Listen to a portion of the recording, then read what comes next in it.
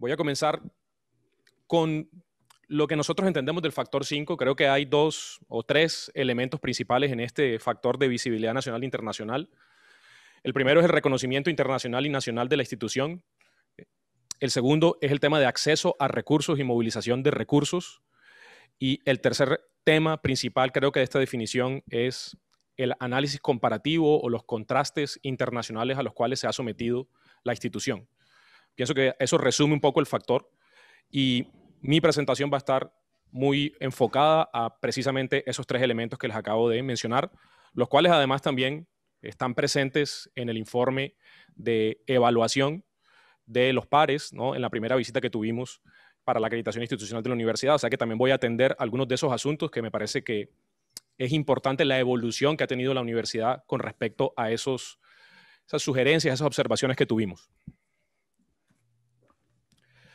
Antes de, entrar en, materia sobre estos avances que hemos tenido, bueno, también sobre los retos que tenemos en internacionalización y en general en el factor, quiero hablarle un poco sobre los fundamentos ah, de este tema en la institución. Aquí pueden ver ustedes como en la línea, en el círculo verde, ¿no? en, la segunda, la segunda línea, em, un poco las áreas de acción de la institución en este, en este tema. Eh, voy a rescatar un par de estas, de estas áreas. El tema de, cultura global es algo que creo que es importante eh, para todas las instituciones. Esto es cómo tenemos internacionalización en la universidad, más allá, eh, por ejemplo, de temas como la movilidad, más allá de la posibilidad de ciertos profesores, estudiantes, funcionarios que tienen de, de moverse, de irse, cómo traemos la cultura global al campus, cómo traemos la cultura global a los diferentes escenarios virtuales que tenemos hoy día.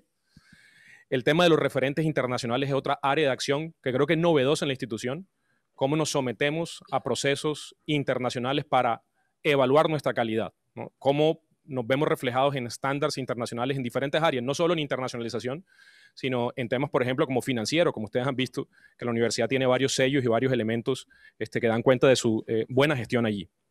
El tema de la cooperación interinstitucional, digamos que esto es un rango amplio de cosas, esto es lo que usualmente se supone que hacen las universidades en internacionalización, Ahí tenemos muchas actividades. El tema de los convenios, algo más clásico, la gestión de los convenios, qué hacemos en los convenios, qué objetivos tienen y qué resultados, impactos tienen. Pero también es algo muy importante y muy, yo pensaría que sui generis, por lo menos en el contexto de, la, de Colombia, el enfoque que tenemos en movilización externa de recursos, en movilizar recursos que fortalezcan los que la universidad ya invierte, que creemos que son importantes, para fortalecer lo que hacemos, para mejorar lo que hacemos, para mejorar la calidad de los impactos de todo lo que la universidad hace. Calidad académica e investigativa es otro tema que nos interesa eh, eh, sobremanera. Creo que en esto, eh, creo que es de los objetivos principales de la internacionalización. ¿no? La internacionalización lleva a la calidad, lleva a muchas otras cosas, pero creo que un fin este, claro de, de ello es poder decir con certeza que lo que hacemos es de calidad. Y el enfoque territorial, que creo que es algo que ustedes han visto de forma insistente durante las presentaciones, durante la visita, y es nuestro enroque, si se quiere, en el territorio y la pertinencia social de lo que hacemos, lo cual incluye internacionalización. La universidad no hace internacionalización separada de su contexto eh, eh, y de su realidad. La internacionalización en la universidad también es inclusión y creo que con las iniciativas que les voy a mostrar que hemos desarrollado, eso se va a ver. Y un poco eh, el, círculo exterior azul de, la, de, este, esta rueda, por llamarlo así, son las políticas y los principios de la institución en internacionalización. Inclusión y diversidad lo rescato, también seguramente ustedes lo han visto en las diferentes presentaciones, hace parte del DNA institucional, eh, también es algo que ustedes, o ADN institucional, algo que ustedes seguramente han, han escuchado ya varias veces, eh, porque nosotros no podemos hacer internacionalización sin este, tener en cuenta nuestro contexto. Eh, por ejemplo, de nuestros estudiantes, que ustedes lo conocen, que ya lo deben haber revisado en todos los documentos, este, implica un esfuerzo especial para que podamos hacer internacionalización con el perfil de, eh, socioeconómico, con el perfil demográfico, con el perfil este, em, de nuestro contexto. Eh, o sea, un esfuerzo adicional para ello. Eh, construcción de capacidades es otro de, esos enfoques que tenemos a nivel de principios. Creemos que se necesitan unas capacidades mínimas para poder internacionalizarse y nos hemos enfocado por varios años en construir esas capacidades. Se necesitan unas competencias para poder estar en el plano internacional. O sea que hemos tenido un enfoque de construcción de capacidades para poder estar en ese diálogo internacional.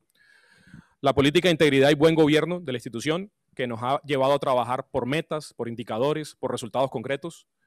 y la política de formación avanzada, que creo que también vale la pena rescatarla, resaltarla, porque nos ha permitido formar a nuestros docentes en universidades de rango mundial y en las mejores universidades de Colombia. Bueno, ya directamente un poco a, estos resultados. Aquí quiero mostrarles un comparativo de eh, la situación de la institución en la ventana de observación anterior, 2009-2013, eh, y 2014-2020. En el 2014-2020 tenemos seis programas acreditados internacionalmente, los primeros en la historia de la institución. En el periodo anterior no teníamos ningún programa acreditado internacionalmente. Eh, estos programas son todos los, que están adscritos a la Facultad de Ciencias Empresariales y Económicas. Y uno de ellos, además, tiene, eh, bueno, eh, los seis programas están acreditados por EQUA, ¿no? por esta acreditadora internacional. Y uno de estos programas, que es el programa de gestión hotelera y turística, está acreditada tanto por EQUA como por la red TEDQUAL, la cual está certificada por el Programa de Naciones Unidas para el Turismo.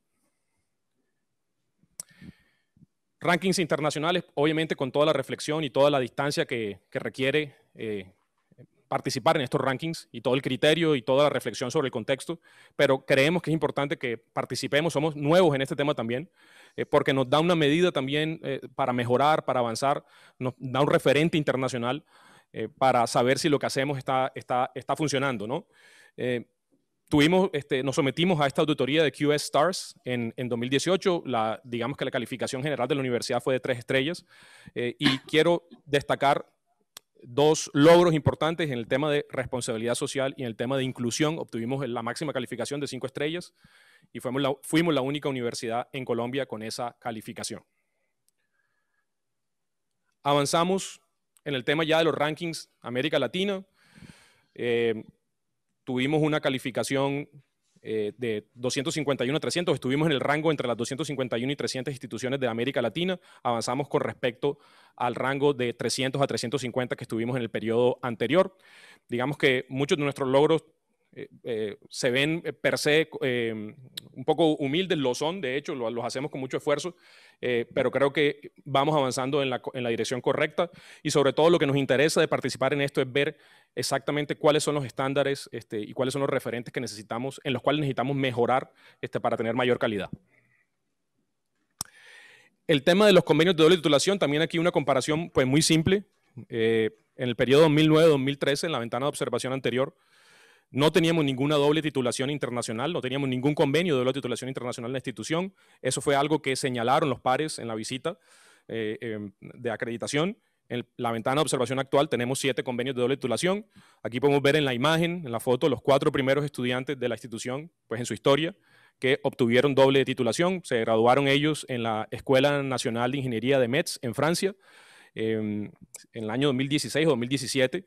Eh, todos de ingeniería industrial, el programa de ingeniería industrial, fueron los primeros, afortunadamente, eh, y obviamente también obtuvieron su título de pregrado en la Universidad del Magdalena en ingeniería industrial. Estos son los convenios. Eh, ustedes pueden ver que hay un enfoque, un énfasis que es un poco ambicioso en tener convenios con universidades de alta calidad y además que no son en idioma español. esto implica un reto aún más amplio pues más allá del perfil alto que necesita un estudiante para realizar una doble titulación, es muy, muy exigente, este, pues también necesita una formación en idiomas, la cual, en la cual nosotros también apoyamos y ayudamos en la, universidad, sobre todo teniendo en cuenta los estudiantes que recibimos en la institución que no suelen venir con buenas competencias de lenguas extranjeras. Aquí podemos ver la Universidad Libre de Bruselas, la Universidad eh, Libre Flamenca, hay otra que es francoparlante, y ahí tenemos acceso a dobles titulaciones en negocios y administración de empresas, Universidad de Miño, Ingeniería Civil, esto es en el norte de Portugal, el Politec Nantes, diferentes programas de ingeniería son elegibles, la Universidad Sapienza de Roma, eh, con la cual tenemos una doble titulación en psicología, en pregrado está la profesora Carmelina Pava que les puede comentar sobre esa experiencia en más detalle, Minalbi Carmot en Francia, Ingeniería Ambiental, ENIM, Ingeniería Industrial, ambas en Francia, y la Universidad de Girona en Derechos Humanos. Mm, aquí hicimos un pequeño comparativo sobre las dobles titulaciones en las universidades acreditadas de la región caribe colombiana. Aquí no, es un ánimo de, competencia, es simplemente una visión de lo, que, de lo que ocurre. Somos la segunda universidad en el Caribe colombiano, entre públicas y, privadas acreditadas, con mayor número de dobles titulaciones internacionales. La Universidad pues, del Norte, ustedes la pueden ver ahí, que tiene un, un, desarrollo histórico importante en ese sentido. Y quería simplemente mostrarles esta, esta imagen. Cuando hablamos de inclusión en la institución, que creo que es un, em, es un tema insistente, ¿no? porque lo vivimos todos los días en la, universidad, no es algo que esté en los documentos, sino es una vivencia de, la gestión y una vivencia de todos. Eh, incluimos internacionalización. Estos son los programas eh, que consideramos que impactan más directamente la inclusión en el tema de internacionalización. Son los programas de movilidad estudiantil de índole semestral, es decir, todos estos programas creemos que tienen un impacto importante no son programas de corto plazo, no son programas, este, eh, digamos que reducidos de viajes, por decirlo así, sino son programas experienciales, cada uno de ellos. El programa Conexión Global, por medio del cual los estudiantes pueden hacer un semestre de intercambio en alguna de las universidades con las que tenemos convenio a nivel nacional e internacional, pasantías globales, pasantías de investigación, prácticas globales, prácticas profesionales y eh, la convocatoria de doble titulación internacional. Todos estos convocatorias reciben financiación de la universidad son apoyos económicos para que los estudiantes puedan realizar su movilidad internacional y nacional y también incluyen formación en idiomas gratuita que la universidad provee. Esta eh, gráfica creo que es interesante. En el periodo anterior tuvimos una inversión de 557 millones de pesos. Los, los pares en su informe mencionaron que no invertíamos nada. No voy a polemizar con el informe. Había algo de inversión, este, pero claramente hicimos un, eh, hubo un aumento importante eh, en, la inversión considerable, yo pensaría, que creo que da realmente cuenta mm, de la importancia de este tema para la institución. 391 beneficiarios en la ventana de observación, 391 estudiantes que realizaron diferentes eh, estadías semestrales en el exterior, versus 87 beneficiarios que tuvimos en la ventana anterior. Y cuando hablamos de inclusión, creo que es importante cómo seguimos siempre pensando en cómo, cómo incluimos a más estudiantes que de pronto estamos dejando atrás. Nosotros, para nosotros los programas de movilidad internacional con estos apoyos que damos en sí son incluyentes, porque el 95%, no sé exactamente la cifra en este momento, de la matrícula de la institución de pregrado es de estudiantes estrato, sin estrato, estrato 1, 2 y 3.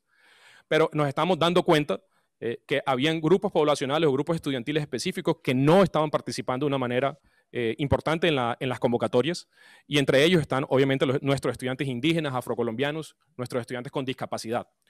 Por ello, en 2016 hicimos como ese enfoque, ese zoom in especial para este tipo de estudiantes, para este grupo de estudiantes, y creo que hemos tenido unos logros importantes. Eh, eh, tenemos que mejorar, tenemos que crecer, digamos que en ese, número. Aquí les traigo simplemente unos ejemplos. La estudiante Royce Iguarán, que creo que nos acompaña también en línea, que es una estudiante que pertenece a la etnia Wayuu, estuvo en la Universidad de Caen, en Normandía, em, haciendo un intercambio, el programa de Derecho. Ana Guerra, una estudiante del programa de Gestión Hotelera y Turística, estuvo en Taiwán, estudiante afrocolombiana. Y eh, eh, Jorge Rolón es un estudiante con discapacidad visual que realizó su eh, intercambio en la Universidad de Valladolid y es el primer estudiante con discapacidad junto con otros estudiantes en realizar este tipo de movilidad internacional en la institución. Cuando tocamos el tema de la cultura global, cómo se vive en el campus la internacionalización, cómo aquí en, la institución podemos vivirlo también, pues da cuenta de ello un poco la presencia de estudiantes extranjeros, la presencia de profesores extranjeros también en la institución.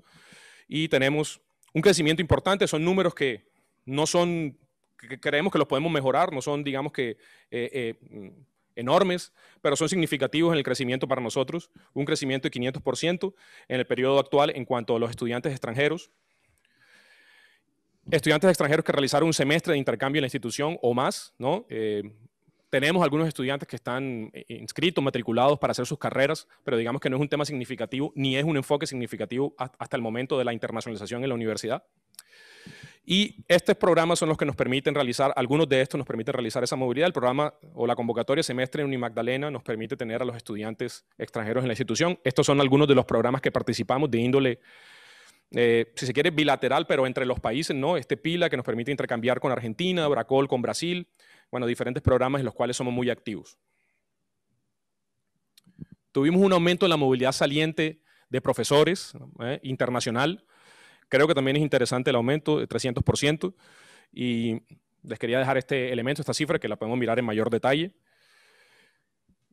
Tampoco voy a eh, quedarme mucho en esto, el vicerrector de investigación seguramente lo, hizo con mayor amplitud, pero otras observaciones también, siempre pensando en, mejoría de, los pares, era que había poca coautoría, que había poco trabajo en ese sentido, nacional e internacional. Creo que tenemos un aumento también importante que da cuenta del buen trabajo en, la vicerrectoría de investigación y en general en ese proceso en la institución. Y aquí también voy a la definición del factor donde se habla siempre del acceso a recursos, ¿no? de la movilización de recursos, eh, que para nosotros es un enfoque importante.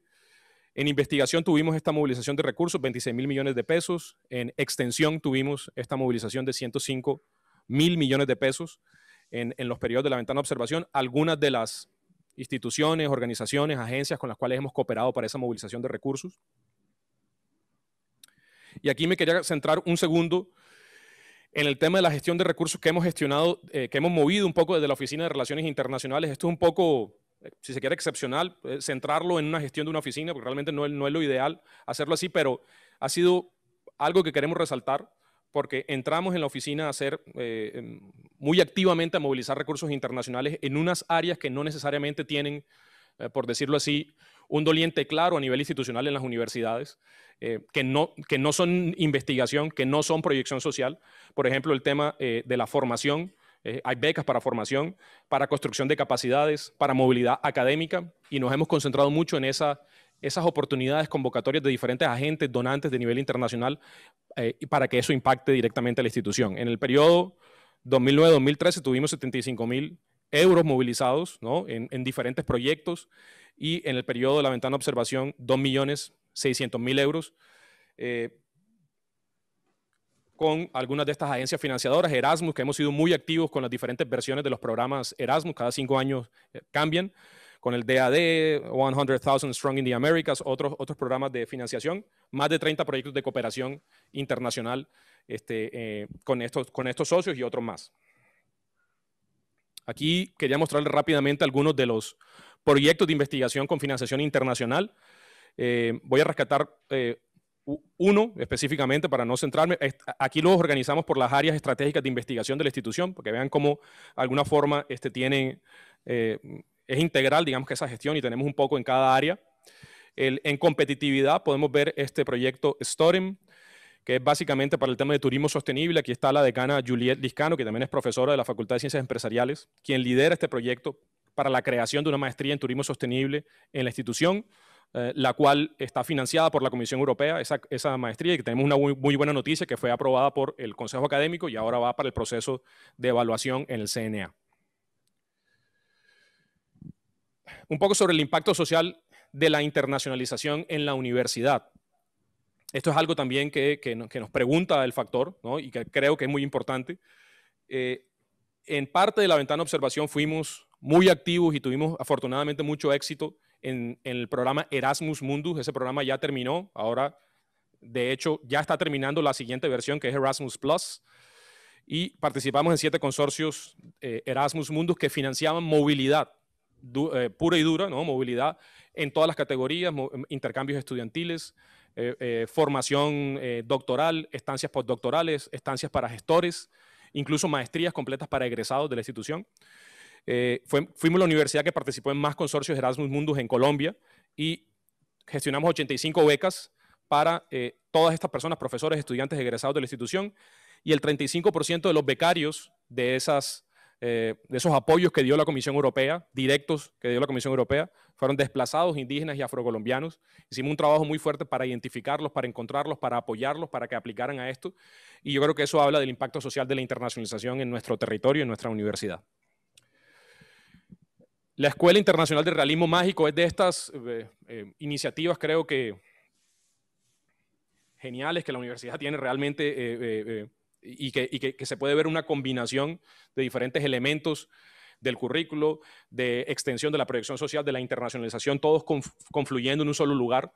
Eh, esta escuela se realizó en el 2019, básicamente una incubadora para negocios relacionados con patrimonio histórico, cultural, literario, obviamente relacionado con nuestro, eh, nuestro patrimonio eh, clave, importante para el Magdalena, que es la obra y vida de Gabriel García Márquez, nuestro premio Nobel de Literatura. Y esta escuela se desarrolló, fue una convocatoria internacional, tuvimos estudiantes e instructores extranjeros y se desarrolló entre Aracataca, que es el lugar de nacimiento de Gabriel García Márquez y donde está la, eh, la casa museo que la universidad administra, y el campus de la universidad. Gestión de convenios no es algo que, es lo clásico que hacen las universidades en internacionalización, pues lo hacemos, pero lo queremos enfocar siempre a resultados e impactos este, y a, hacer un seguimiento muy celoso y muy estricto pues, de esos convenios. Aquí les muestro simplemente unos ejemplos de esos convenios que hemos venido firmando. Y les quiero enfocarme un poquito más en cuáles han sido los resultados, el impacto de la gestión de esos convenios que, que, ha salido para la universidad y para nuestros socios también de, esos, eh, de esa gestión de convenios. 404 intercambios estudiantiles en la, en la ventana de observación, de ellos 390 con apoyos económicos, financieros y en formación en idiomas de parte de la Universidad Magdalena. El número restante son estudiantes que lo financian ellos mismos. 15% mm, de las coautorías internacionales de la institución se dieron en el marco de convenios firmados con instituciones a nivel nacional e internacional. Y los resultados de la doble titulación, porque tal vez algunos de ustedes se preguntan, bueno, firmaron siete convenios, antes no tenían ningún convenio de titulación, pero ¿qué ha resultado? Sí están activos, sí están activos, siempre han estado activos. Tenemos siete graduados eh, eh, eh, en doble titulación internacional y tenemos en este momento nueve estudiantes activos en los mismos convenios que están en este momento, pues básicamente todos en Europa, porque todos ellos son en el continente europeo. Redes internacionales, resalto dos importantes que son a nivel institucional que cubren de alguna forma toda la institución, no, no tanto a nivel temático. La red Columbus, que es una red euroamericana de universidades, participamos en diferentes proyectos, iniciativas, diferentes diálogos con otras redes. Es una red muy importante para nosotros. Y la red CCYK, aquí la pueden ver ahí, se llama Columbia Challenge Your Knowledge. Es la red de universidades acreditadas para la internacionalización. Mm, hacemos parte desde 2017 en esta red, que también nos da unas instancias de, de interlocución muy importantes. El otro ejemplo de redes o asociaciones, la AUIP, que creo que ustedes la deben también conocer, eh, eh, obviamente es una red importante eh, en Iberoamérica y quería darles un ejemplo de cómo hacemos parte del doctorado en Derecho Marítimo e Internacional junto con la Universidad del Valle, que veo que, están los, pares de, la Universidad del Valle, para la formación de doctores en esta, mm, en, en esta área. Tenemos en este momento nueve estudiantes, en su mayoría profesores de la facultad del programa de Derecho, también del programa de Ingeniería, realizando un curso previo al comienzo del doctorado, eh, el cual digamos que recibe financiación directa de parte de la universidad y todas las universidades participantes. Aquí con esto ya, ya, casi, ya casi vamos terminando, cerrando. Quería, eh, esto para nosotros es una cifra muy considerable, muy importante. Quería, eh, no quería cerrar con algo menor, sino con, con, con, algo mayor, con algo importante, y es la inversión en internacionalización de la institución. Crecimos en 700, casi 800% en la inversión. En la ventana de observación tuvimos una inversión de 17 mil millones de pesos. En el periodo anterior tuvimos una inversión en 2013 millones de pesos en todos los elementos de internacionalización, todos los, entendida comprensivamente este, en la internacionalización, no solo movilidad, ¿no? Y de, estas, de esta inversión destaco cómo nosotros eh, resaltamos el programa de formación avanzada como una iniciativa de internacionalización en la universidad porque ha permitido que nuestros profesores estudien en las mejores universidades en el exterior y las mejores universidades a nivel nacional también. Una inversión de 7.451 millones de pesos en este programa, básicamente para la formación en programas doctorales, en su gran mayoría, de 49 profesores, 49 docentes de la institución, con respecto a una inversión de 485 millones en la ventana anterior. ¿Cómo nos hemos adaptado ante la pandemia? Voy a ser muy rápido. Eh, hicimos un acompañamiento personalizado a los 21 estudiantes que quedaron en el exterior, digamos que en el medio de la pandemia, cuando esto nos, nos, nos ataca en, marzo de este año. Afortunadamente no teníamos tantos estudiantes. Eh, ese periodo de principio de año no es el de, digamos que la temporada, entre comillas, alta de nuestra movilidad internacional, sino siempre es el segundo semestre. Entonces eran solo 21, pero suelen ser 90 o 80 y pico de estudiantes. Hicimos un seguimiento por canales digitales constante, frecuente, monitoreo de la situación pusimos a disposición de los estudiantes la línea de atención psicológica de la institución también. Muchos de ellos vivieron momentos muy difíciles debido a, debido a esto, también incluso eh, momentos difíciles de salud. Y eh, la universidad rápidamente les dio un apoyo económico adicional al que ya habían recibido en su momento para su movilidad de 35 millones de pesos a cada uno de ellos, incluyendo a aquellos estudiantes que habían ido con recursos propios. Los incluimos también, por supuesto, en esto y creo que esto es algo que nos, nos permitió anticipar problemas que eventualmente se pudieran presentar. Eh, colaboración y formación virtual internacional. Hicimos, eh, obviamente accedimos al programa de, Coursera, que ustedes saben que, Coursera abrió de forma gratuita el acceso a su, oferta amplia de cursos. Eh, obviamente hicimos, insistimos mucho en eso, pero también hicimos algunos temas especiales como trazar una ruta de formación para los estudiantes de la universidad que les permitiera tomar ciertos cursos en Coursera y que la universidad les diera una mención en competencias internacionales. Hicimos varias iniciativas de este tipo para aprovechar esta apertura y queremos continuar ahora que Coursera va a tener eh, una apertura con algo que se llama Coursera Basic, que creo que es interesante porque va a tener un costo mucho menor de lo que usualmente tiene. Columbus Hub Academy, que es para la, eh, con la Asociación Columbus, para la formación y consolidación de iniciativas COIL, de colaboración internacional virtual, y la convocatoria semestre Unimagdalena, virtual, ¿no? Para que estudiantes del extranjero pudieran y de Colombia pudieran tomar cursos de forma virtual con nosotros. Seguimos trabajando en la movilización de recursos, nos adjudicaron el proyecto ELANET, pues somos socios de ese proyecto que lidera la Universidad Libre de Bruselas en emprendimiento social. Eh, lo lidera también el Centro de Innovación y Emprendimiento de la institución y firmamos nueve protocolos bilaterales de movilidad del programa Erasmus Plus K107. Todas estas son movilidades que haremos ya a partir de, eh, esperamos, el primer semestre de 2021, cuando el tema se normaliza un poco más debido a la pandemia. Seguimos gestionando los convenios con la Universidad de Kagoshima en agosto, en Japón, el primer convenio que tenemos con una universidad japonesa en la historia, en el área de ciencias del mar, con la Universidad de Philip, Marburg de, mm, Philips Marburg de Alemania en septiembre. Eh, en antropología, el profesor Fabio Silva ha estado muy activo también en ese asunto y con la Universidad Nacional de Costa Rica en ese país. Aquí ya termino con las oportunidades de mejora del factor. Queremos integrar la metodología COIL al currículo, es decir, la colaboración virtual eh, internacional. Queremos que no solo esta metodología, sino todas aquellas iniciativas de colaboración virtual eh, se faciliten, no tengan obstáculos, no tengan ningún tipo de, renuencia de parte de, las instancias administrativas de la institución, que esto sea algo fluido y flexible. Eh, y para ello necesitamos, digamos, que trabajar para que esto se dé.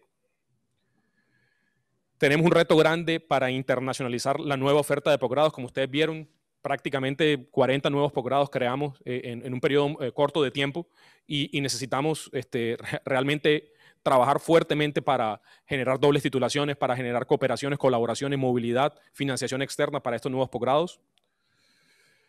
Necesitamos ampliar la oferta de doble titulación en pregrado y posgrado. Nuestras dobles titulaciones están muy enfocadas hacia ingeniería, eh, con otros programas sueltos, por ejemplo, en psicología eh, o, en, empresariales, pero necesitamos este, incluir a ciencias básicas, necesitamos incluir más a la Facultad de Salud, a la Facultad de Educación. Entonces necesitamos trabajar más en, en dobles titulaciones en otras facultades. Y finalmente queremos ampliar lo que hemos hecho en formación avanzada eh, en el sentido de que profesores se formen en universidades de rango mundial. Queremos insistir en ello y digamos que facilitarlo. Ya tenemos unos logros, tenemos profesores gracias a este, esta insistencia y también a las redes que la universidad tiene formándose a nivel doctoral en la Universidad de Purdue. El profesor Einer Castro creo que está en línea con nosotros, está allá de la Universidad de Purdue, la Universidad de Groningen, este, en diferentes universidades a nivel mundial. Eh, queremos insistir en eso finalmente, eh, en nuestra autoevaluación encontramos que eh, avanzamos de cumplir aceptablemente, como fue el resultado de nuestra autoevaluación en la primera acreditación, hacia cumplir plenamente, pero por supuesto eso lo dejamos a consideración de los, de los pares aquí presentes. Con esto termino mi presentación y muchas gracias. Muchas gracias, profesor. No sé si hay otra eh, alguna otra presentación o pasamos a escuchar los testimonios. Pero eh, si no hay otra presentación, yo quisiera darle la palabra a la profesora Mónica Marquina, que ella nos va a orientar con unas preguntas para la discusión que vamos a tener. Doctora Bueno, muchísimas gracias, profesor Carlos. Bueno, muchísimas gracias por la presentación. Realmente lo que ha hecho no más que completar la muy buena presentación que se había hecho en el informe en donde realmente se ve el esfuerzo que la universidad ha puesto en este factor, ¿no? en todos los aspectos, en todas las dimensiones. Y bueno, dado que esta reunión es una reunión que está pautada para una hora y tenemos eh, muy poquito espacio para discutir, lamentablemente, entonces yo quisiera que eh, aprovechar para focalizar en algunas cuestiones específicas a partir de eh, la experiencia de, bueno, de estudiantes. Hoy estuvimos escuchando a graduados desde los lugares donde están estudiando, haciendo su posgrado, que también fue muy interesante. Eh, yo quería focalizar, tenemos algunas cuestiones de información que después les vamos a pedir, que quizás no surgen del informe, eso va a ir aparte, así no perdemos el tiempo. Eh, sí quisiera, eh, retomando un concepto que ustedes mencionan en el informe, que es la internacionalización en casa, y aquí lo han mencionado en el campus, me gustaría que eh, de los que intervengan pongan el énfasis en de qué manera cuando los docentes o los estudiantes de esta universidad hacen alguna experiencia en el exterior y luego vienen, de qué manera contagian, eh, comentan, expanden esa experiencia a nivel de la institución. ¿sí? Eh, y qué efectos ha tenido eso, porque justamente internacionalizar, además de tener una visibilidad hacia afuera, de invertir como lo han hecho, de firmar convenios y tener actividades, es en de qué forma se retroalimenta todo eso que se hace afuera para que la institución sea internacional. Entonces me gustaría que se pudiera poner el énfasis en eso y también, si se pudiera, en de qué forma se, se ha internacionalizado o aprovechado estas experiencias para internacionalizar el currículum, tanto en carreras de pregrado como de posgrado. Me parece que con esas dos grandes preguntas que apuntan al aprovechamiento ¿no? de la institución, de, todos los embajadores que van y luego vienen, eh, podemos ayudar a completar el panorama que, como ya les adelanto, es muy completo y nos ha quedado muy claro el gran despliegue que han realizado en este factor. Gracias. Gracias, doctora. Entonces, eh, voy a, a mirar quienes han, pueden solicitar si les parece la palabra con la... Perdón, eh, profesor Carlos, podemos agregar lo siguiente, como quizás no, no, el tiempo no, no alcance, también está la posibilidad del chat, de completar a aquellos que no puedan hablar y quisieran hacerlo, con en el chat poder también responder o, o ampliar con experiencias. Muy bien, doctora, muchas gracias. Entonces, pues les daría la palabra Estoy mirando quiénes la solicitan y en el orden en que las vayan solicitando intentaré darlas. Eh, no sé quiénes quieran intervenir. Las preguntas creo que están bastante claras, las que ha planteado la doctora Mónica, nuestra par internacional. Entonces, pues la palabra la tienen ustedes en la universidad.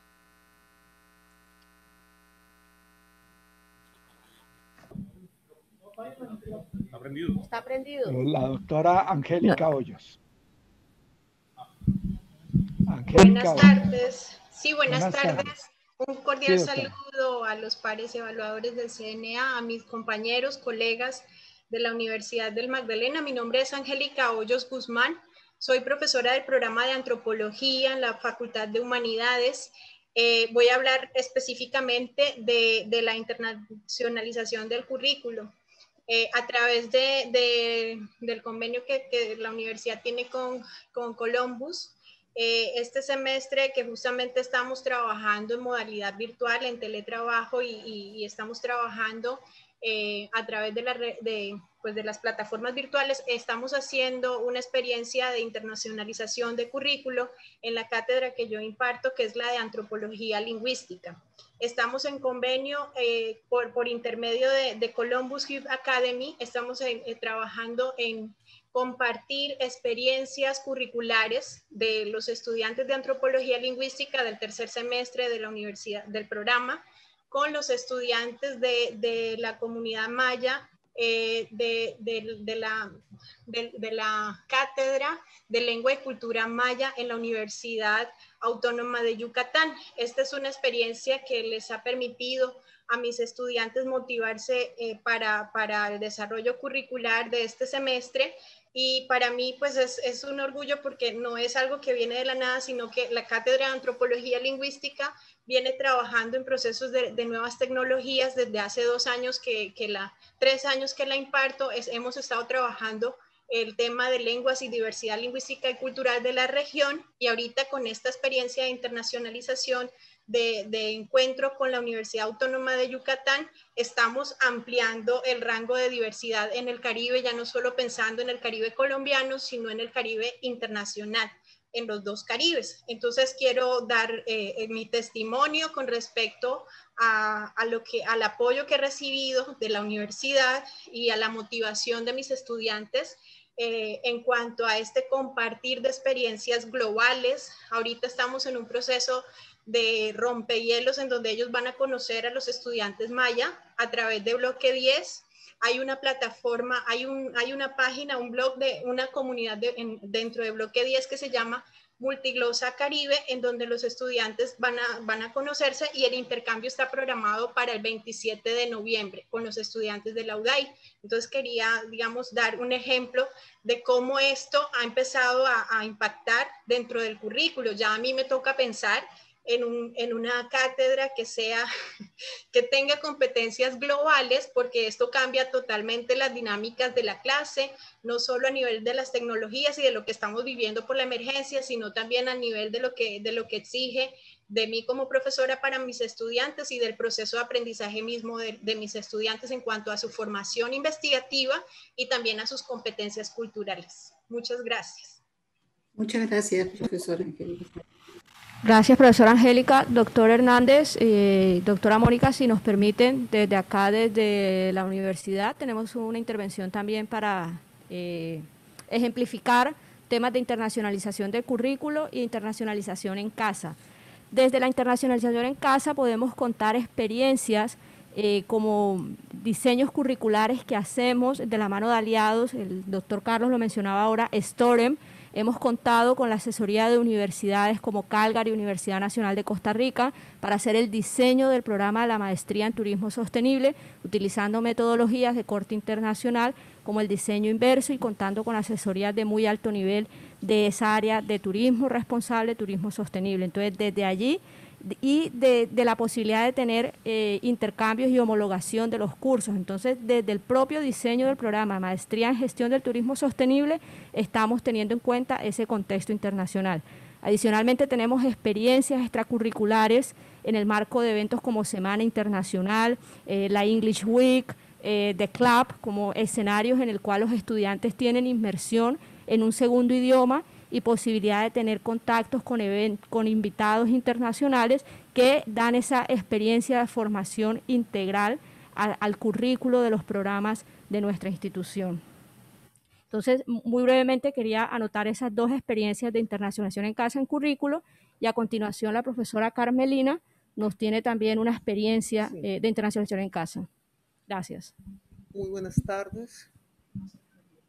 Buenas tardes de nuevo, doctor Gerardo, doctora Mónica.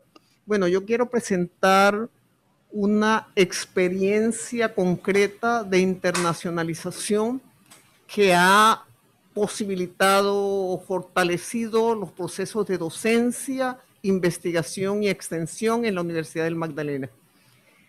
Esta alianza con la Universidad Sapienza de Roma eh, inició en el 2014, cuando nos reunimos los docentes decanos de las facultades de psicología de la Universidad San Buenaventura, sede Medellín, y Universidad de Manizales, para analizar experiencias en torno a la formación de psicólogos.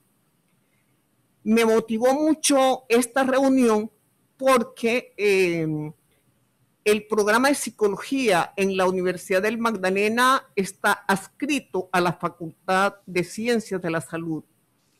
La decanatura de, de en Sapienza se denomina decanatura de medicina y psicología. Entonces decía, ah, el análisis de estos currículos va a posibilitar el fortalecimiento de nuestro programa.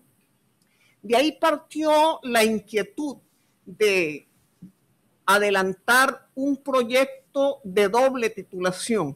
Eso nos duró aproximadamente dos años, que en la cual hacíamos reuniones en Roma y acá en Santa Marta. Afortunadamente tuvimos la posibilidad de apoyos tanto por parte de Sapienza como de Universidad del Magdalena para hacer posible la construcción de este proyecto de doble, de doble titulación.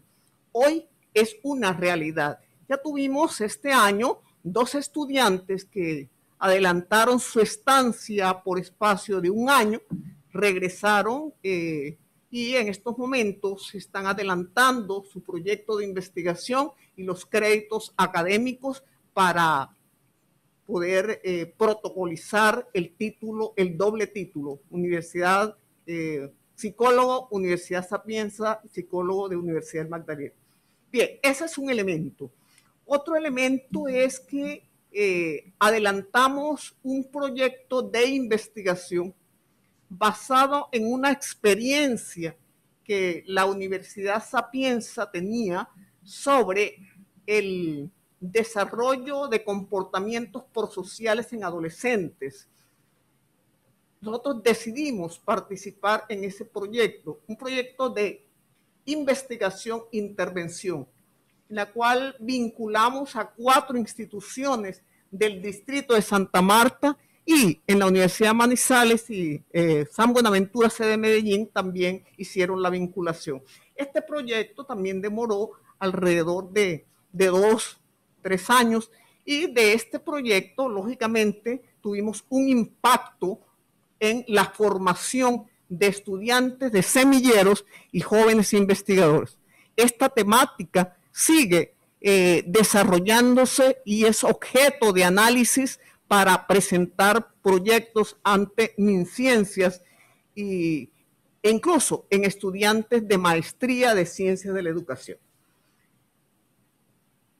De otra parte, eh, esta alianza ha permitido procesos de movilidad eh, tanto de parte nuestra como de parte de investigadores de Sapienza. Hemos tenido a, a, la doctora Concheta Pastorelli por espacio de un mes, mes y medio en una estancia postdoctoral, haciéndole seguimiento al proyecto de investigación que hemos adelantado en convenio con ellos. Tenemos frutos y hemos sembrado y hoy eh, hay publicaciones. Me satisface mucho. Eh, la más reciente, que es de este año, hicimos la validación de una escala eh, multidimensional de autoeficacia percibida, la cual miramos la invariancia y la validez de esa escala para medir la autoeficacia en contextos escolares. Esto, lógicamente, es una perspectiva intercultural. Este es una, una, está publicada en una revista eh, Q1. Bien, de otra parte, y sembrando y recogiendo, tenemos una beca doctoral de una docente investigadora del grupo de investigación, cognición y y, cognición que en estos momentos está en la Universidad Sapienza. Como les digo, eh, indudablemente la pandemia nos ha afectado mucho. Eh, a comienzos, en el mes de marzo, tuvimos que eh, algunos estudiantes, cuatro estudiantes que venían a adelantar su, su semestre acá, tuvieron que regresar porque porque la embajada lo reclamó. Eh, también hemos tenido que aplazar cosas. Nosotros como producto de esa alianza habíamos o desarrollamos el primer eh, seminario internacional de prosocialidad. Eh, era condición este año adelantar el segundo seminario. No lo pudimos, está pendiente. Hemos hecho seguimiento, sí, con el profesor Carlos Coronado. Sabemos que debemos mirar los aspectos administrativos de este convenio porque hemos proyectado eh, un convenio de doble titulación para la maestría en psicología clínica, jurídica y forense.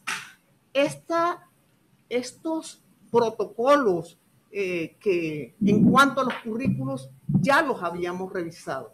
Está pendiente de hacer la formalización.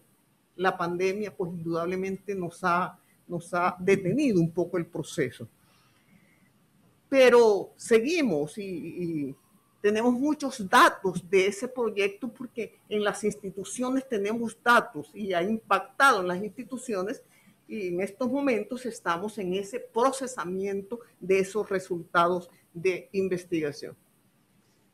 Como les decía, ah, qué pena. No, no, no. perdón, pues perdón, pensé que había terminado, perdón. Sí, Carlos. No, para decirle, doctora Mónica, que esta esta temática de comportamientos prosociales ligados a los procesos de docencia eh, y a los procesos de, extensión sigue viva ¿sí? en investigación. sigue, muchas gracias. Muchas gracias. Eh, doctor, eh, quería rogar que, que fueran, ojalá bien breve las intervenciones para que pudiera hablar la mayor cantidad de gente posible, ¿no? Gracias. Bueno, doctor, eh, Carlos, ¿me escuchan? ¿Me escuchan? Sí, este, tenemos aquí unos estudiantes. Gracias. Este, tenemos unos estudiantes presentes también que, quieren pues, dar su testimonio. Hay algunos que también han dado su testimonio por vía chat. Eh, y bueno, los tenemos acá presentes. Les voy a dar la palabra. buenas tardes. Vuelvo a presentarme. Eh, mi nombre es José Barros. Como ya dije anteriormente, soy estudiante de octavo semestre de odontología y yo digo que algo es contarlo y otra cosa es vivirlo, ¿cierto? Entonces, bueno, yo creo que esta experiencia, aunque sea un poco cliché, realmente sí cambia la vida, eh, o por lo menos en mi caso lo hizo. Aquí tenía anotado algunas anotaciones para decir, pero yo pienso que todo fluye.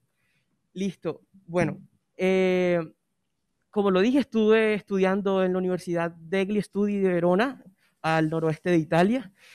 Eh, pues hice mi presentación. Soy hijo de estudiantes de Universidad del Magdalena y estar aquí, verla crecer, para mí es un orgullo y para ellos también, ¿cierto? Eh, ¿Qué le traje a mi programa, ¿cierto? Yo creo que tuve con una compañera de ontología y más que todo fue la motivación. Muchos tenían mucho miedo de ir, ¿cierto? Y la idea es romper esos esquemas. Al nosotros volver, ya muchos más estudiantes se motivaron, incluso al ir allá, muchos querían saber de nuestra cultura, cómo eran nuestros métodos. En salud cambian muchísimo las cosas porque nosotros utilizamos medicamentos, utilizamos, en mi caso, odontología, instrumentos un poco diferentes. Y ver cómo son los métodos allá y traerlos aquí, cambiar o incluso llevarlos de acá, porque nosotros también tenemos muchas cosas buenas que llevar, eh, es algo maravilloso.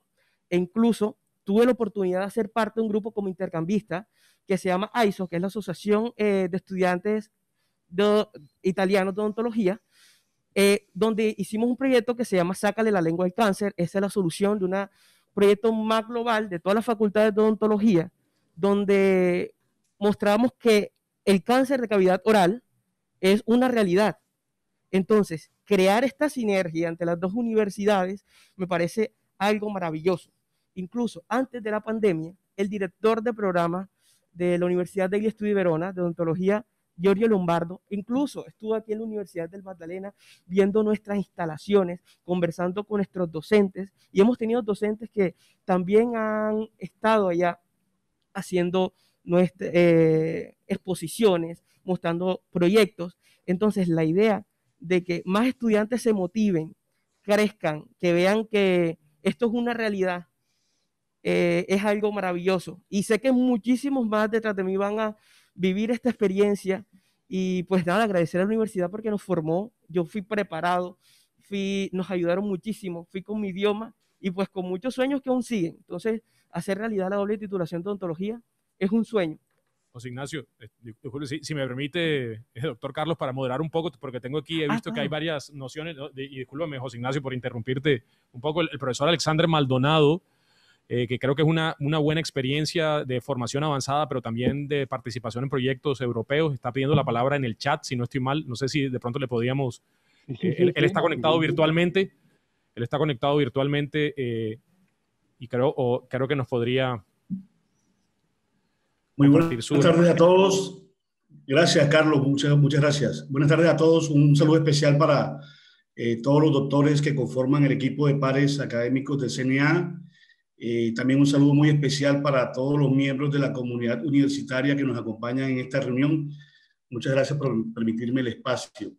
Bueno, quiero intervenir para dar de manera sintética, relatar una experiencia positiva de internacionalización del currículo a partir de eh, el programa de formación avanzada para la docencia y la investigación. Bueno, tuve la fortuna, mi nombre es, perdón de todo, mi nombre es Alexander Maldonado Atencio, soy docente de planta de tiempo completo de la Universidad del Magdalena, eh, adscrito a la Facultad de Ciencias Empresariales y Económicas en el programa de Economía. Tuve la, la fortuna de acceder a una beca eh, a través del proyecto Eureka, que hace parte del programa de movilidad europea para la educación superior Erasmus Mundus, para realizar estudios de formación doctoral en la Universidad de Granada, España.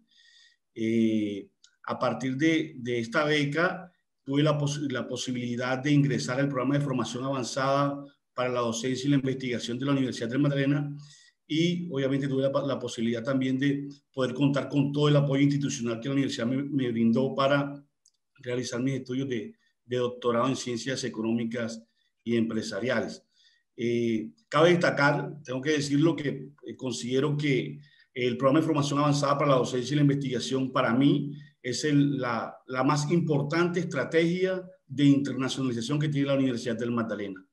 Eh, el programa de formación avanzada y la posibilidad que tienen los profesores de cátedra ocasionales y de planta de poder participar en las convocatorias de becas que lideran estos organismos internacionales en, donde en los que participa la universidad, eh, digamos, esto le ha permitido a la universidad fortalecer eh, su planta profesoral, cualificarla de mejor forma, eh, perfeccionar a, nivel científico las competencias de, de, sus profesores, es decir, a través del programa de formación avanzada y a través de la participación en estos consorcios, la universidad ha avanzado y ha consolidado una planta de personal docente y científica de altas calidades académicas eh, en todos los aspectos. Bueno, eh, a nivel de experiencia puedo decir que desde mi formación doctoral tuve la oportunidad de eh, articular el Instituto de Desarrollo Regional de la Universidad de Granada con el diseño y la construcción del programa de maestría en ciencias en, en desarrollo territorial sostenible, que es uno de los principales programas de posgrado de la Facultad de Ciencias Empresariales y Económicas, y esto le abrió la posibilidad a que estudiantes de las carreras de pregrado y de posgrado puedan obviamente acceder a pasantías de investigación en esta prestigiosa universidad. De hecho, ya tenemos un estudiante de, de grado que a través de la convocatoria de pasantías de investigación internacionales ha accedido a realizar una pasantía de investigación en la Universidad de Granada y está próximamente a iniciar su experiencia de investigación.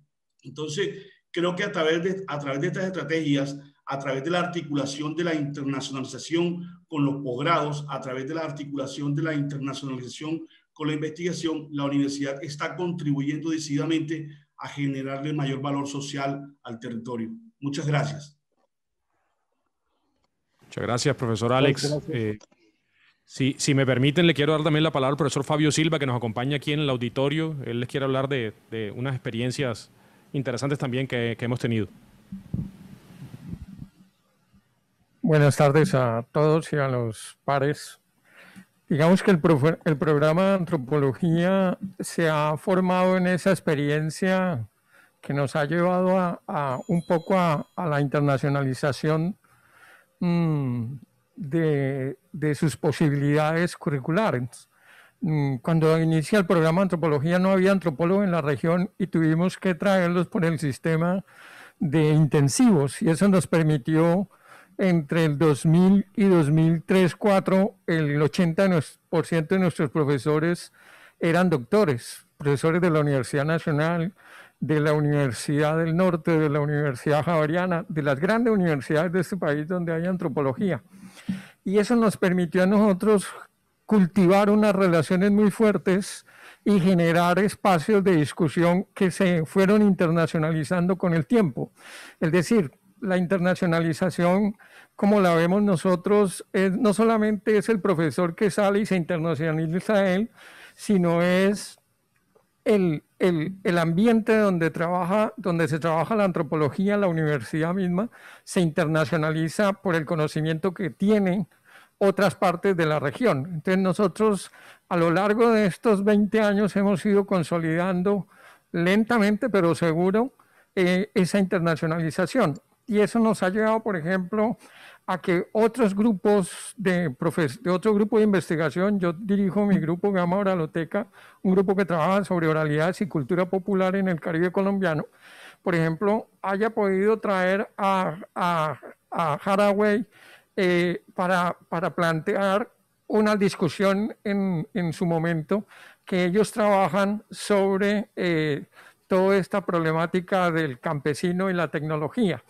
Entonces, pero también han pasado por aquí Christian Gross, una, toda una serie, Anne-Marie Lozoncy, profesores de nivel internacional. Eso nos permitió también aplicar, por ejemplo, al, al, al proyecto de, financiado por la Unión Europea eh, el 2020, eh, la Conexión Caribe. Y algunos de los profesores, eh, yo entre ellos afortunado, hago parte de un proyecto financiado donde estamos 180 profesores de Europa y entre europeos y caribeños y eh, tenemos estancias de tres meses por tres años. Eso nos ha permitido, estuvimos ya el año pasado, establecer una relación, por ejemplo, con la Universidad de Marburg, que les interesaba cómo el currículo nuestro, eh, que se aproxima mucho a las comunidades y a los saberes locales, eh, estaba apropiado para la formación de sus jóvenes en antropología y en politología. Y eh, lo mismo en Francia, donde estuvimos unos, unas relaciones, eh, y en España, por eh, la forma en cómo hemos abordado las comunidades desde los diferentes grupos de investigación.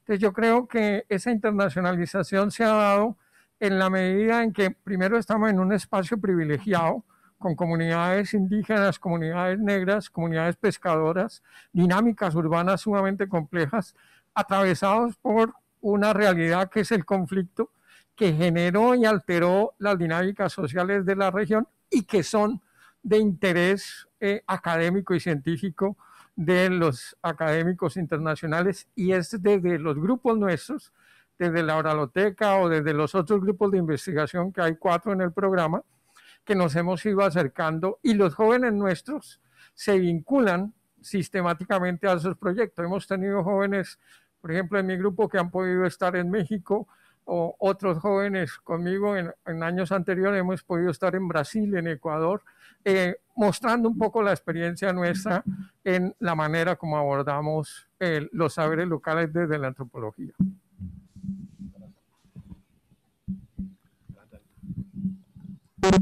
Profesor. Adelante, Ana. Sí. Profesora. Ah, buenas tardes. Mi nombre es Ana Caruso. Yo soy estudiante de biología. Ah, buenas ah, tardes a los pares y a toda la comunidad universitaria. Bueno, yo tuve la oportunidad de estar en dos convocatorias diferentes con la ORI. Eh, uno fue primeramente un intercambio semestral académico en la Universidad de Mons en Bélgica, el cual fue pues, el primero que hice, y luego tuve la oportunidad de hacer una pasantía de investigación en la Universidad de Cornell, en Ithaca, de Estados Unidos.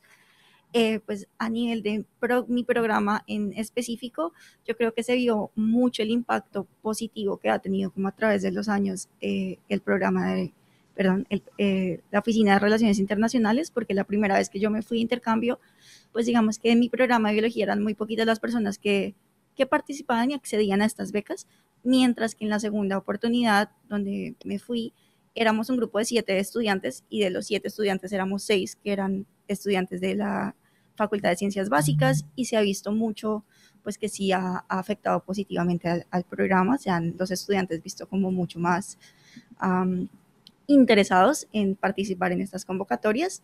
Además, en la segunda oportunidad en que me pude ir fue muy, pues muy interesante y me pareció muy especial porque no solamente nosotros tuvimos la oportunidad de ir a hacer la pasantía en, Cornell, sino que también los estudiantes de allá tuvieron la oportunidad de venir acá y hicimos un proyecto muy, muy bonito que fue ir a un colegio público de, la ciudad y pues motivar a los niños desde tempranas edades a participar en ciencia, a participar en la parte de, la, pues de los segundos idiomas. Y, y, pues eso me pareció que no solamente como que impactó la universidad, sino que se fue mucho más allá. Muchas gracias. Loraine, aprovechemos ya que estemos aquí. Buenas tardes a los pares. Mi nombre es Loraine Cotes, estudiante de décimo semestre del programa de Ingeniería Pesquera. Eh, yo tuve la oportunidad de este año aplicar a la convocatoria e irme a hacer un semestre en la Universidad Estadual Paulista en Brasil. Desafortunadamente me fui, en, eh, estaba comenzando la pandemia en, en Sudamérica y me tomó la, eh, eh, me tomó la estancia mía en Brasil y gracias a la Universidad del Magdalena que estuvo atenta al desarrollo de, de, los estudiantes que estábamos en el exterior. Yo fui uno de los 21, de los 21 estudiantes que nos encontramos en ese momento eh, fuera del país. Acerca un poquito el micrófono, Lorena. Pues estuvo acompañada no solo psicológicamente, sino económicamente de, de la Universidad del Magdalena, gracias a la oficina también, eh, a los administrativos que siempre estuvieron atentos. Entonces yo pienso que eh, no solo es que los estudiantes y los docentes salgan fuera de la universidad a, a, a mirar las oportunidades, sino el acompañamiento que esta nos brinda eh, durante esta crisis que pues nadie se esperaba, pero afortunadamente pude volver a casa con la gestión también de la Oficina de, la Relación, de Relaciones Internacionales en medio, en plena pandemia. Eh, pues fue muy, muy, fue, muy, fue, fue, muy difícil la experiencia, dado que en Brasil es uno de los países en Sudamérica que más ha sido afectado por por la pandemia. Y bueno, mi familia y, y, y las personas que me conocen están muy agradecidos porque aparte de todo pude volver. Otra cosa que quería hablar, eh, duré muy poco tiempo en Brasil, sin embargo, eh, una de mis metas era poder mostrar mi carrera eh, ingeniería pesquera, ya que es única aquí en Colombia, y, y contando con que en Brasil ahí eh, estaba y son, los currículos son muy, muy similares, pude, tuve la oportunidad de relacionarme con muchos profesores y, y estudiantes Hace poco me escribieron varios estudiantes que vieron que la convocatoria estaba abierta para la virtualidad, de que ellos pudieran dar clases aquí y me dijeron que cómo hacían que les ayudara para, para poder aplicar a la convocatoria virtual. Entonces, no solo es mostrar, no solo es traer, sino también mostrar lo que tenemos en la Universidad del Magdalena, que es una universidad que eh, está brindando la calidad eh, suficiente a los estudiantes para que vayamos a, eh, a mostrar nuestra universidad y seamos la cabeza visible de aquellos que también quieren conocer nuestra universidad. Muchas gracias. Muchas gracias, Loraine. Eh, Ernesto, no sé si finalizas con, con tu intervención. Sí. sí buenas tardes. Eh, un saludo a grandes, eh, estimados pares. ¿Cómo está Ernesto Galvez, director de investigación? Quería simplemente, Carlos, adicionar que el enfoque de visibilidad nacional e internacional, el enfoque internacional, eh, también eh, se ha impactado desde la perspectiva de la gestión, ¿no? Y de la gestión desde algunos aspectos relacionados con la unidad en donde eh, yo trabajo y lidero, que es la Vicerrectoría de Investigación, en varios aspectos. En el primero de ellos, que tiene que ver con el fortalecimiento de las actividades de los grupos, es con un trabajo, digamos, en armonía entre diferentes unidades de la, de la universidad para identificar esas oportunidades de financiación, por ejemplo, de participación en proyectos, no necesariamente eh, con un indicador que ya mostraba Carlos de captación de recursos internacionales, que es eh, pues muy importante, sino también en la oportunidad de trabajar en, en esas redes que a veces se convierten en redes eh, informales, pero que son muy productivas y muy efectivas y que se materializan en producción intelectual con coautorías.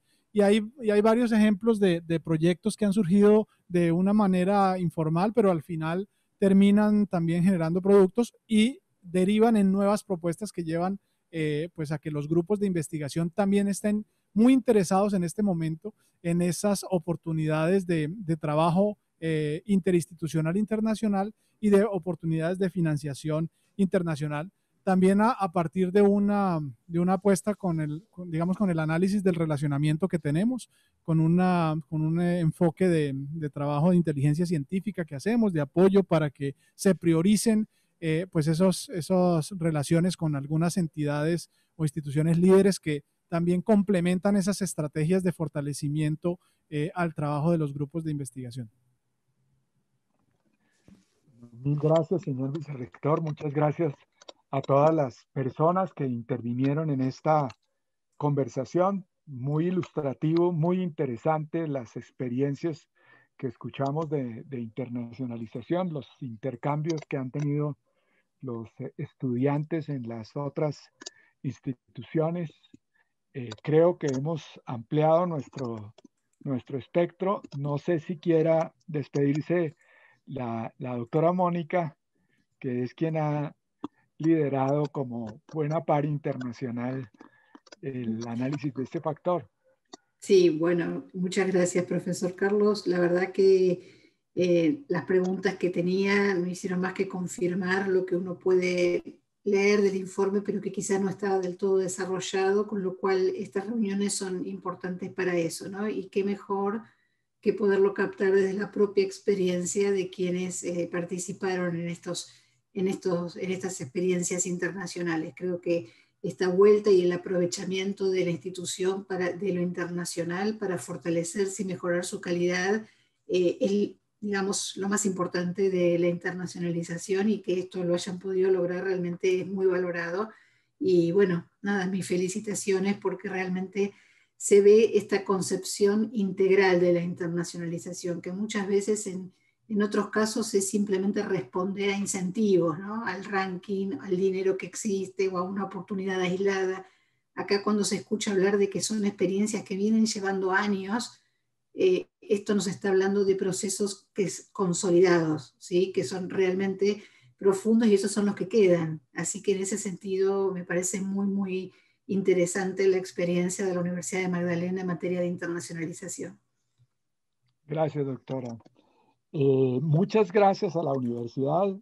Seguimos en una dinámica de comunicación muy rica y muchas gracias a quienes intervinieron y nos ayudaron a clarificar los puntos que estaban en, todavía pues por precisar a pesar de la claridad del informe de autoevaluación.